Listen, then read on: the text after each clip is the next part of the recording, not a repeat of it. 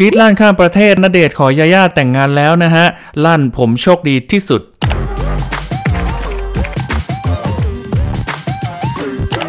ณเดชน์คูกิมิยะและญาญ่าอุรัสยานะครับ เผยโมเมนต์สุดเซอร์ไพรส์เป็นโมเมนต์วันนี้ที่รอคอย เมื่อพระเอกดังณเดชน์ขอนางเอกคู่บุญญาญ่าแต่งงานแล้วที่เมืองนอกนะครับ เพื่อนๆในวงการและแฟนคลับร่วมแสดงความยินดีจน IG แทบระเบิด ทำเอาแฟนๆกรี๊ดสนั่นข้ามประเทศกันเลยทีเดียวนะครับ เมื่อคู่รักซุปตา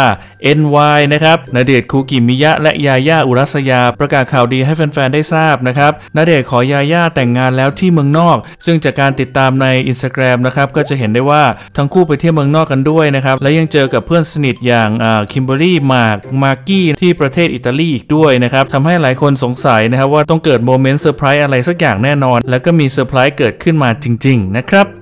โดยทั้งคู่ได้โพสต์โมเมนต์หวานฉ่ำพร้อมข้อความหวานเจี๊ยบนะว่า we design on forever ผมคือผู้ชายที่มีความสุขที่สุด และผมโชคดีที่สุดที่มีผู้หญิงคนนี้อยู่ในชีวิต การเดินทางครั้งใหม่เริ่มต้นแล้ว และผมโคตรตื่นเต้นเลย you are my soul my love my tear my air and thank you for saying yes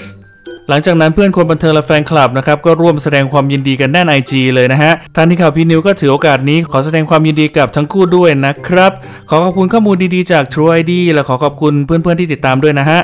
ฝากกดไลค์กดแชร์กด Subscribe เพื่อเป็นกำลังใจกันด้วยนะครับ แล้วเจอกันใหม่ในคลิปหน้าสำหรับวันนี้ไปแล้วครับ สวัสดีครับ